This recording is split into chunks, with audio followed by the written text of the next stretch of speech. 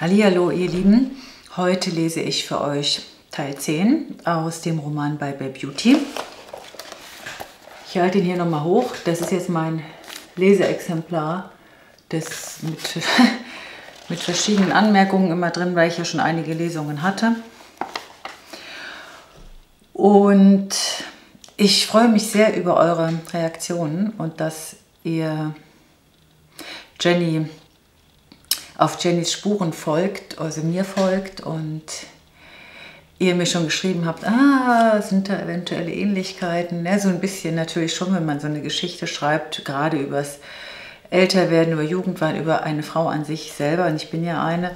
Klar, dass da viel Persönliches einfließt. Und ich habe, da ist auch einiges logisch, äh, ja, drin enthalten, was mich natürlich betrifft, was ich auch erlebt habe. Ich habe ja auch, äh, war ja auch zu Recherchezwecken in LA und ich habe auch ein, einige sehr interessante Leute kennengelernt. Aber ich möchte jetzt nicht näher darauf eingehen, ob, das, ob diese Geschichte nun so eins zu eins stattgefunden hat. So eins zu eins nicht ganz, aber in etwa. Also, gut, äh, das nächste Kapitel. Ich muss leider die Brille aufsetzen. Forever Young. Im Wartezimmer des Schönheitsdoktors saßen einige junge, hübsche Mädchen herum und die Frage warf sich auf, was die da eigentlich wollten. Für Jennys Empfinden waren die hier total fehl am Platz. Ehe sie sich versah, wurde sie auch schon aufgerufen und die nette Empfangsdame geleitete sie ins Sprechzimmer. Der Gott in Weiß dachte, Jenny sah für sein Alter ein bisschen zu straff und jugendlich aus, aber das brachte der Job wohl mit sich.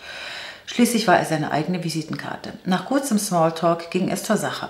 Jenny sollte sich ausziehen und bevor sie protestieren konnte, meinte er, naja, jetzt wo Sie schon mal da sind, schauen wir mal, was außer der von Ihnen gewünschten Lidstraffung noch so alles in Frage käme. Jenny, Jenny stockte. Der Fachmann hatte gesprochen. Brav ging sie in die angrenzende Kabine und zog sich bis auf den Slip und BH aus. Der Doktor erwartete sie schon mit einem schwarzen Edding bewaffnet, um auch gleich seine Kreise auf die zu rekonstruierenden Körperteile zu malen. Völlig geschockt ließ Jenny die Prozedur über sich ergehen. Geschäftstüchtig erklärte er, also, Frau Erdbeerstein, da wäre erst einmal ein nicht allzu groß ausfallendes Silikonimplantat für Ihre Brust. Also was die immer mit Jennys Busen haben. Ne? Jenny hielt die Luft an. Daran hatte ich eigentlich nicht gedacht. Mhm. Er sah sie kurz an und redete weiter. Dann könnte man etwas Fett aus den Oberschenkeln absaugen und die Wülste an den Knien. Wülste? Na, guck mal, sehen Sie mal, sagte er und kniff ihr seitlich ans Knie. Das ist nur minimal. Ein kleines Lifting und schon hätten Sie wieder Beine wie eine 20-Jährige. So, und jetzt drehen Sie sich mal um Jenny drehte sich. Also, wir könnten das aus ihren Oberschenkeln entnommene Eigenfett verwenden, dann hätten sie wieder einen schönen, runden Po, so einen, wie ihn alle gerne haben wollen. Jenny traut ihren Ohren nicht. Der ging ja richtig als Eingemachte. Und bevor wir uns ihr Gesicht vornehmen, ziehen Sie sich erstmal wieder an. Jenny zog ihr Fürstenberg-Wickelkleid über die schwarzen Kreise und dachte hektisch daran, wie sie die wohl wieder abbekäme. Also Frau Erdbeerstein, schöner Name übrigens. Ich muss mir ihr Gesicht etwas genauer ansehen. Er lehnte sich vor, begutachtete und sprach, also ein komplettes Gesichtslifting ist noch nicht nötig. Jenny atmete erleichtert auf. Also die Oberlidstraffung ist ein absolutes Must-Have für jede Frau ab 40. Etwas Botox für eine faltenfreie Stirn und Hyaluronsäure mit Depot-Effekt, die bei Knitterfältchen großflächig eingesetzt wird und nebenbei die Kollagenproduktion anregt, würde ich Ihnen auch empfehlen. Also hier und da noch ein paar Füllstoffe, die jugendlich pralle Wangen zaubern und Sie werden erfreut sein, wie frisch Sie danach aussehen. Allerdings nach zwei bis vier Monaten müssten Sie, also müssten Sie wiederkommen und wir müssen nachspritzen. Und jetzt kommen wir zum Kinn. Sie wissen ja, die berühmte Schwerkraft. Jenny nickte zustimmend. Der redete ja ohne Punkt und Komma. Also das Kinn und die Kieferlinie zeigen meist die ersten Zeichen des Alterns. Spezielle Implantate können ihrem Gesicht zu neuer Blüte verhelfen. Aha. Also da gibt es die Methode der Konturenstraffung mit einem sogenannten Zackenstrip. Jenny riss erstaunt die Augen auf. Das hörte sich nach Schmerzen an. Der Doc sah ihre Bedenken und sagte, naja, also alles halb so schlimm. Hier, er zeigte Jenny Fotos von Megan Fox und Lindsay Lohan. Sehen Sie, Jenny sah auf die Fotos und dachte, Mann, die sind doch noch nicht mal 30. Und fragte, also meinen Sie diese Apfelbäckchen? Tja, also Apfelbäckchen, der letzte Schrei in Hollywood. ziemlich schräg. Und wie geht das? Nun ja, also räusperte sich der Gott in Weiß. Das hört sich ein bisschen schlimmer an, als es im Endeffekt ist. So ein Wangenimplantat wird durchs Auge nach unten eingeführt und festgeschraubt. Jenny schüttelte sich. Also, oh wow, das hört sich ja total gruselig an. Aber das Ergebnis, Frau Erdbeerstein, auf das Ergebnis kommt es doch an. Fakt ist, dass das Auffüllen der Wangenknochen mit Implantaten ein Gesicht für sehr, sehr lange Zeit bedeutend jünger aussehen lässt. Also Sie müssen entschuldigen, meinte Jenny völlig entnervt. Das geht mir alles zu weit. Ich möchte, also nee, ich will das nicht. So will ich nicht aussehen. Also wie Sie meinen. Ihre Lippen allerdings, also die sind in Ordnung, die sind filmreif. Das könnte ich jetzt nicht besser spritzen. Jenny lächelte etwas gequält. Also sie hatte gedacht, dass ihr noch etwas mehr Zeit blieb, so rigoros über das Alter nachdenken zu müssen. Nix da. Sie erfuhr soeben, dass die erste kleine Gesichtsoperation schon mit 35 vorgenommen werden sollte.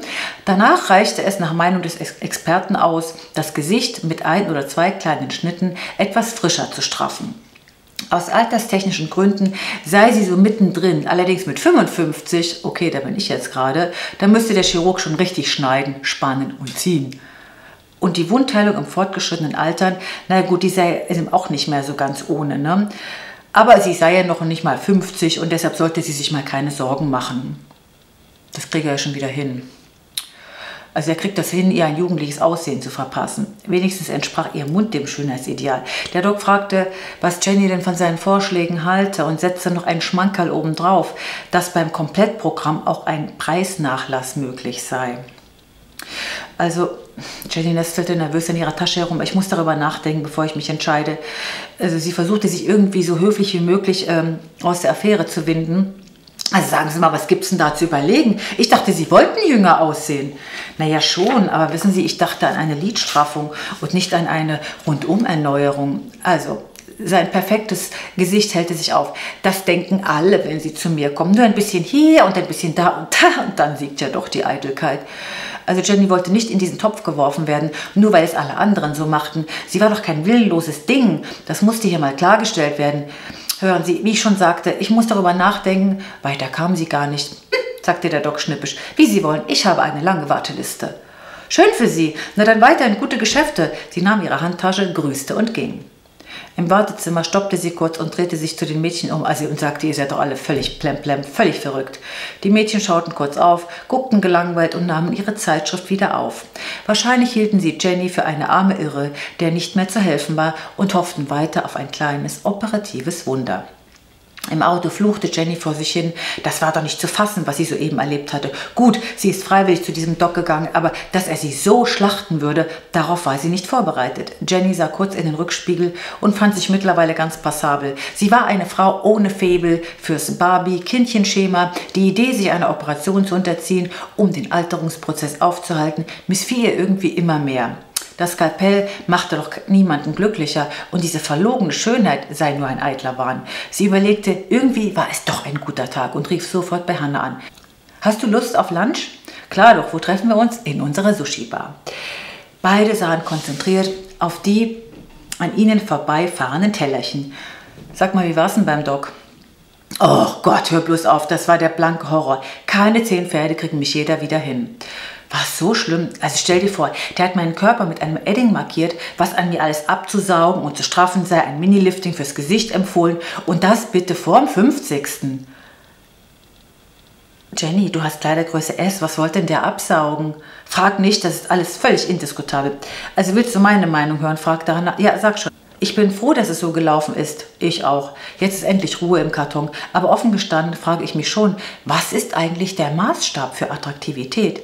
Also ich denke, das, was wir als attraktiv, schön und begehrenswert empfinden, existiert in der Realität überhaupt nicht. Stimmt, Frauen sind so einfältig. Wir himmeln Fotos an, die doch nur das Resultat modernster Computertechnologie sind. Wir lassen uns von der Werbung total beeinflussen, obwohl wir es doch besser wissen müssten.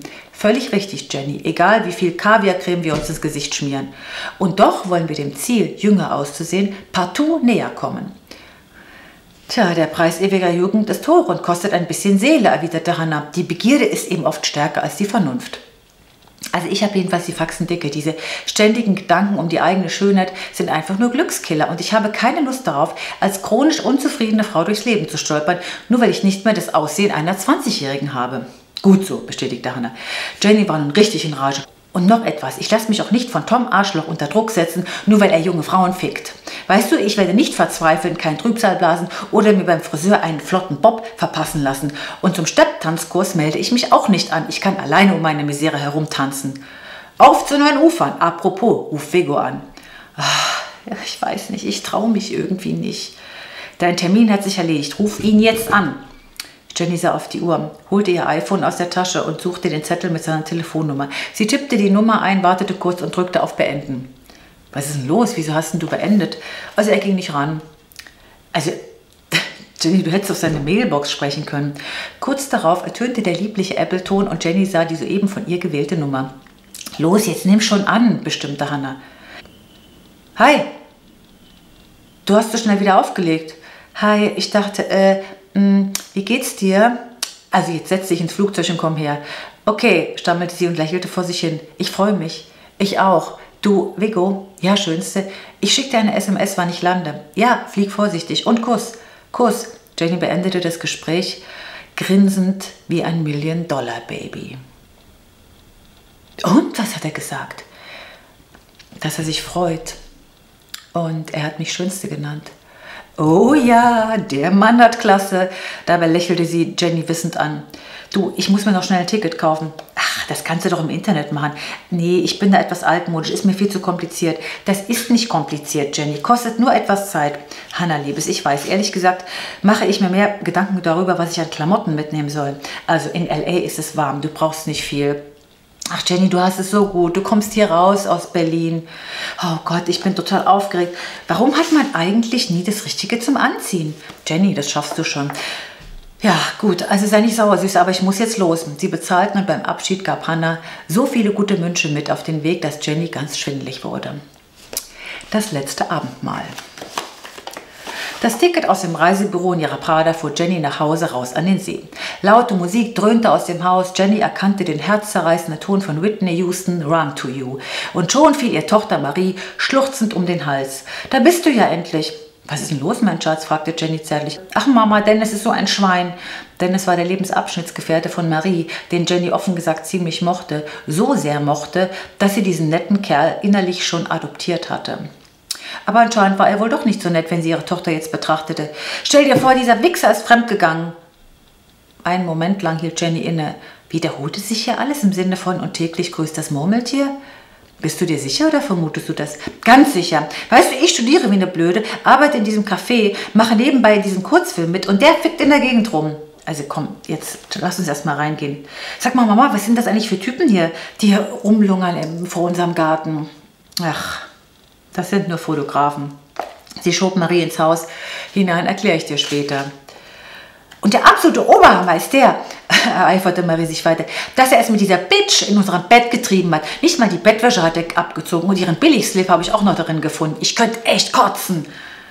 Also nun mal langsam, Süße. Mach erst mal die Musik leise und dann reden wir. Sag mal, Mama, was ist das eigentlich für eine Schlampe, die ohne Schlüpper rumläuft? Kann es sein, dass sie dieses Teil absichtlich vergessen hat? Keine Ahnung. Und Dennis, dieser Idiot, oh Mann, ich könnte ihm eine reinhauen. Weißt du, wie er seine Fremdfickerei abgewertet hat? Kann man das denn? fragte Jenny unglaublich. Dennis schon. Er sagte, ach Baby, ich habe die ganze Zeit dabei nur an dich gedacht. Jenny kriegte einen kleinen hysterischen Lachanfall. Sorry, Süße, das klingt total abgefahren. Ist es auch. Und die Bettwäsche, meint er, die könnte man ja waschen. Jenny holte tief Luft. Also, ich muss schon sagen, das klingt sehr pragmatisch und wiederum so ehrlich, dass einem im Grunde genommen der Wind aus den Segeln genommen wird. Sag mal, was denkt er sich eigentlich? Liebes. Männer denken nur dann geradeaus, wenn sie eine Erektion haben, sagte Jenny selber so frustriert darüber, dass sie sich nicht mehr beherrschen konnte. Das musste raus. Marie blickte ihre Mutter entsetzt an. Sag mal, meinst du das wirklich? Ja, das meine ich. Was ist denn los mit dir? Das klingt so abgeklärt. Kann sein. Ich denke mittlerweile etwas anders über Beziehungen und die große Liebe. Wie denn? Ach, ganz allgemein? Ja. Genieße die Männer so gut es eben geht, aber verlange nicht, dass sie dich ausfüllen. Wow, brachte Marie hervor. Oh Süße, das tut mir so leid. Jenny nahm sie in den Arm. Sie blickte ihre Tochter an, sah den Schmerz in ihren Augen und fühlte sich nicht in der Lage, zu diesem Thema andere Worte zu finden, als die, die gerade aus ihr herausbrachen. Tom ging ja auch fremd. Und Jenny? Also ich koche uns erstmal einen Tee oder doch lieber heiße Schokolade? Schokolade, schniefte Marie und kuschelte sich an Mama. Schön, dass du da bist, sagte Jenny und dachte gleichzeitig daran, was sie alles noch zu erledigen hatte. Sie wollte in Ruhe packen und ihr eigentliches Eheaus verdrängen, aber es kam immer anders, als man dachte. Marie wollte ihr unglückliches kleines Herz ausschütten und Jenny konnte sie ja nicht einfach wieder wegschicken, auch wenn sie selber beziehungstechnisch erbärmlich drauf war. Ach, ich bin so froh, bei dir zu sein. Marie setzte sich an den großen Küchentisch und sah dabei zu, wie Jenny die heiße Schokolade zubereitete. In Jennys Kopf wirbelten derweil tausend Dinge herum. Was sollte sie bloß alles mitnehmen? Am besten gar nichts. So etwas hatte sie noch nie gemacht. Einfach wegfliegen mit ihrer Prada und vielleicht ein bisschen Handgepäck. Plötzlich schrie Marie auf und Jenny hätte vor Schreck beinahe die Schokolade vergossen. Mama, die sieht ja aus wie du! Marie hatte die Zeitungen am Wickel, die sie und Vico küssend im Wagen zeigte. Und dann doch noch die da vom Vortag, als sie mit Vico auf diesem Event zufällig fotografiert worden war. Oh nein, dachte Jenny und hatte die Wahl, herumdrucksen oder einfach die Karten auf den Tisch zu legen.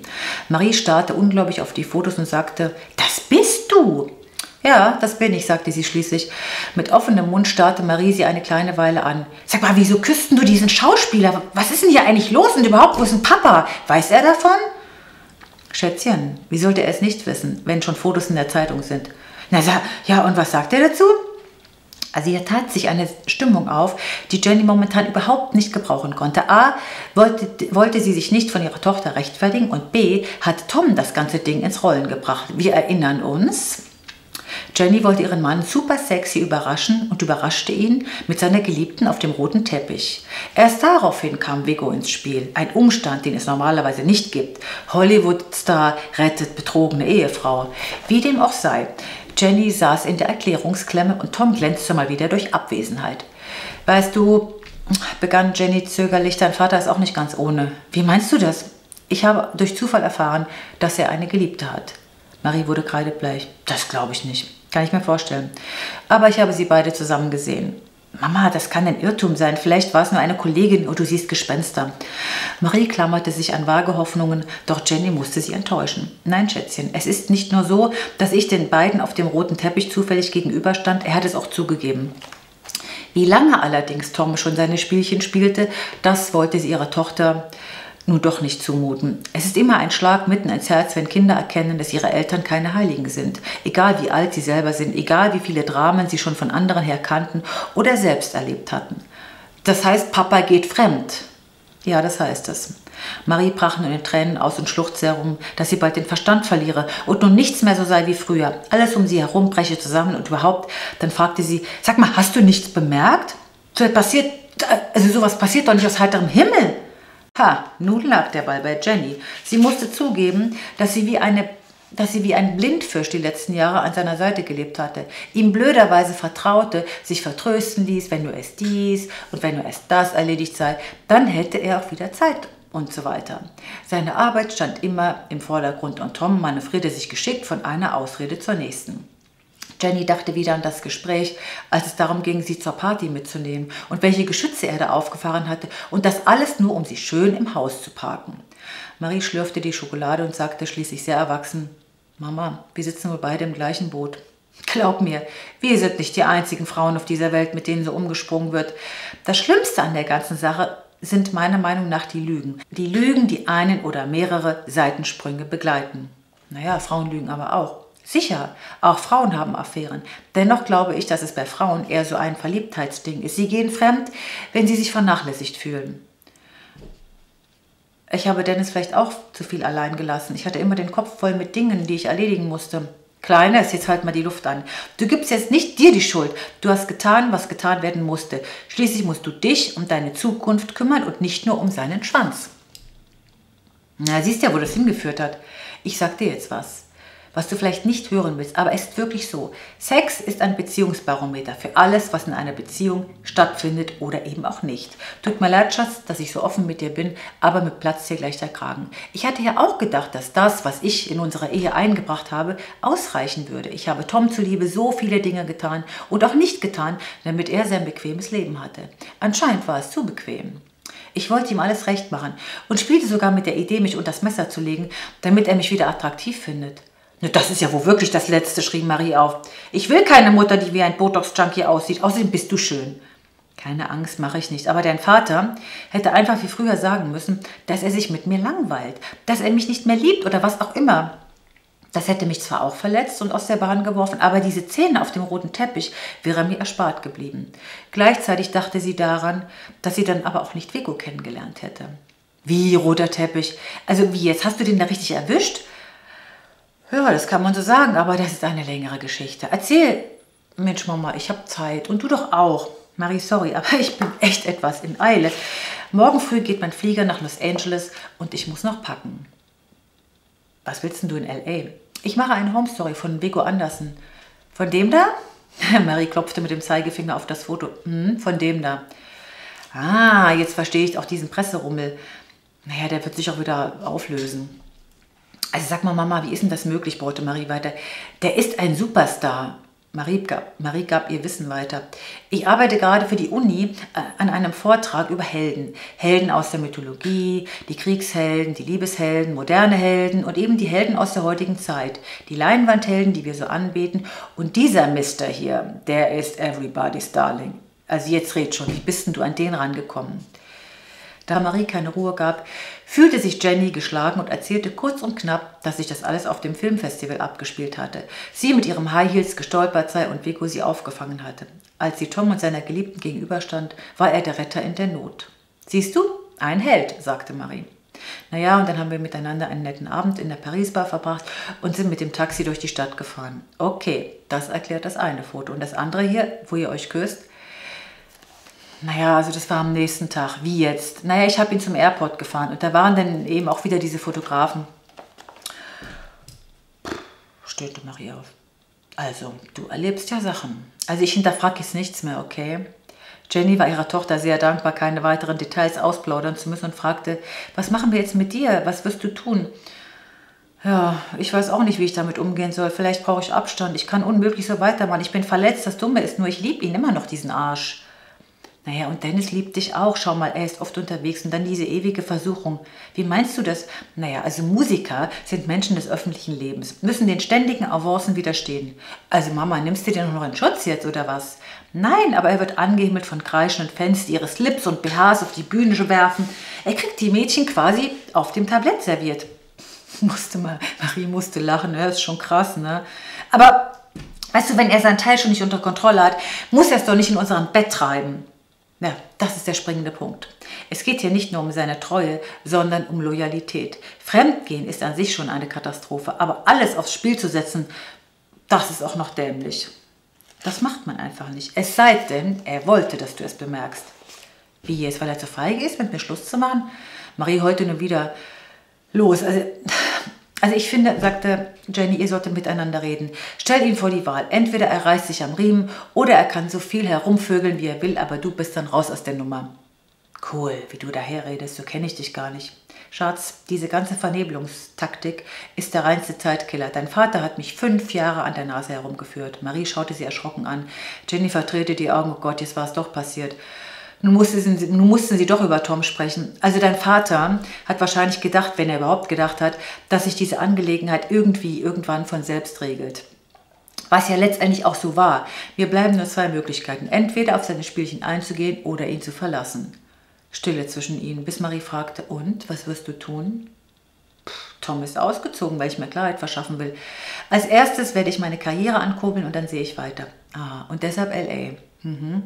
Etwas Besseres als Vegos Angebot konnte mir in der jetzigen Situation gar nicht passieren. Glück im Unglück, wenn du so willst. Und du, du konzentrierst dich auf dein Studium und verschwendest nicht deine Jugend an so einen Kerl. Meinst du wirklich, ich sollte ihn vergessen? Also du musst wissen, ob du damit umgehen kannst. Nach dem Motto, ihn wenigstens ein bisschen als gar nicht mehr zu haben, fragte Marie.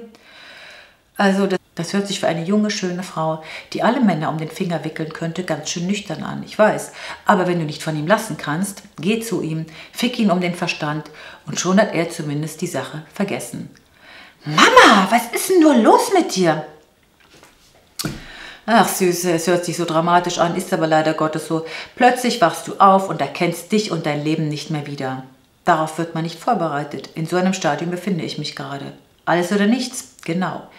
Jenny ergriff die Hände ihrer Tochter und sagte, du wirst schon das Richtige tun, davon bin ich überzeugt. Marie trocknete ihre Tränen und öffnete die Bluse. Guck mal, es ist zum Wahnsinnigwerden und zeigte ihre Schwitzränder. Na du, davon kann ich auch ein Lied singen. Sobald ich mich aufrege, fühle ich mich wie in den Tropen. Anscheinend bin ich frühzeitig ins Klimakterium geschlittert und dein Vater hat sich deshalb eine Jüngere gesucht, eine, die ihren Östrogenspiegel und ihr Aussehen besser unter Kontrolle hat. Unsinn, sagte Marie vehement. So ein Quatsch, Mama. Wenn du jetzt schon im Klimawandel bist, dann bin ich nie aus der Pubertät herausgekommen. Doch, das bist du. Das ist alles nur eine Phase, Hase. Sag ich doch, Frauen haben immer irgendwelche Phasen. Jenny war erstaunt über die Weisheit ihrer Tochter. Jetzt noch was anderes, meine Süße. Könntest du dich um unsere Cookie kümmern, während ich weg bin? Klar, ich wollte sowieso wieder hier einziehen, wenn es okay ist. Na, hör mal, das ist dein Zuhause und dein Zimmer erwartet dich. Der Hund, ein herrlicher, schwarzer Labrador, kam freudig auf Marie zugelaufen und beide knuddelten und herzten auf dem Boden herum. Schade ist nur, dass du nicht da bist. Ich hatte mich schon so auf unsere gemütlichen Abende und dein gutes Essen gefreut. Wird alles nachgeholt, versprach Jenny und machte Anstalten, ins Kleidezimmer zu gehen. Musst du jetzt packen? Naja, du könntest mir ja Gesellschaft leisten und ein paar Tipps geben. Gerne, rief Marie aus, sprang auf und der herrliche Labrador rannte ihnen hinterher. Jenny und Marie hatten ein ausgesprochen vertrautes, liebevolles Verhältnis zueinander. Das war nicht immer so, denn Maries plötzliche Pubertät, die sie aufsässig, frech, aber fantasievoll über die Bühne brachte, hatten Jenny einiges an Verständnis und Vertrauen abverlangt. Sie hatte die Leine abgelegt, damit Marie herausfinden konnte, was richtig für sie wäre. Nun ist sie erwachsen und die Saat, die Jenny eingebracht hatte, schien aufgegangen zu sein. Marie absolvierte ihr Studium mit Bravour und würde bestimmt eine tolle Schauspielerin werden. Nicht nur, weil sie schön, intelligent, schlagfertig, humorvoll, ehrgeizig und zauberhaft war, auch ihr Fleiß würde sich irgendwie auszahlen. Davon war die stolze Mutter überzeugt. Im Ankleidezimmer lag immer noch das Hauskleid. Das Teil hatte eine Menge erlebt in den letzten Tagen und Jenny stieg darüber hinweg. Warum hebst du das nicht auf? fragte Marie. Das ist doch gar nicht deine Art, das passt eher zu mir. Ach, lass es ruhig liegen. Marie setzte sich wie Vigo auf den Boden, lehnte den Kopf an den Türrahmen und sah zu, wie Jenny alle möglichen Kleider, Tuniken, Shirts, Hosen und Tops in einen Koffer warf. Das ist viel zu viel, du nimmst immer viel zu viel mit. Stimmt, alles nur Ballast. Ich nehme nur ein Kleid mit. Guck mal, dieses tolle schwarze Spitzenkleid von Deutsche und Gabbana. Schwarze Pumps, ein paar Seidentops, eine Tunika, eine Strickjacke, Jeans und Lederjacke. Ziehe ich an, dann noch Unterwäsche, Nachthemd, Kosmetik und die Fotoausrüstung. Das ist gut, du machst dich, Mama. Offen gestanden bin ich ziemlich unsicher, was die Reise angeht. Ich lehne mich da ziemlich weit aus dem Fenster, findest du nicht? Naja, was soll denn schon schiefgehen? Du machst die Story und wer weiß, was sich da so beruflich sonst noch so ergibt. Man kann ja die wissen und du bringst mir was Schönes mit, ja, von Victoria's Secret. Unbedingt, Mama. Ja, mache ich natürlich. Weißt du, Mama, ich bin mit der Gewissheit nach Hause gekommen, auftanken und aufsaugen zu können. Nun muss ich mit ansehen, wie du deine Koffer packst, nach Amerika zu einem Schauspieler fliegst und mein Vater ist ausgezogen. Weißt du, mein Schatz, Jenny setzte sich neben Marie auf den Boden. Eltern sind auch nur Menschen, machen Fehler und haben Bedürfnisse. Wir waren dir bisher sicher wie eine Schweizer Bank, was auch in Zukunft so bleiben wird, selbst wenn wir nicht mehr unter einem Dach leben. Meinst du, das geht? Auch wenn du jetzt in unserer eigenen kleinen Familie schmerzhaft erlebst, dass es keine Sicherheiten gibt, muss das nicht unbedingt schlecht sein. Im Gegenteil, sehen wir es doch als Chance. Marie sah ihre Mutter an und sagte mit fester Stimme, ich denke, Spaß sollte immer einen festen Platz im Leben einnehmen und du hattest verdammt wenig davon in der letzten Zeit. Mach dir keinen Kopf. Ich kümmere mich hier um unsere Cookie und was sonst noch so anliegt und wir bleiben in Kontakt, ja? Nimm deinen Laptop mit. Jenny freute sich über die vernünftigen Worte und endlich stellte sich bei ihr auch so eine Art Vorfreude ein. Dieses schöne Gefühl, wo mehr Glückshormone als beim tatsächlichen Ereignis ausgeschüttet wurden. Seitdem sie nicht mehr damit haderte, ob sie ihre Augenlider straffen lassen sollte oder nicht, waren die Glücksboten im Anmarsch. Wusstest du, dass ein gutes Essen Endorphine ausschüttet, die glücklich machen? fragte Jenny ihre Tochter. Allerdings nur für kurze Zeit, ne, Mama? Ja, immerhin. Also pass auf, wir gehen jetzt mit unserer Cookie am See spazieren. Der Wind wird unsere trüben Gedanken einfach davonblasen und dann koche ich dir dein Lieblingsessen. Oh ja, rief Marie, das machen wir. So, meine Lieben, das Kapitel ist natürlich noch nicht zu Ende, aber ich denke mir mal, das ist jetzt ungefähr knapp eine halbe Stunde. Das sollte erstmal ausreichen, sonst lädt er wieder 20 Stunden hoch, dieses Video.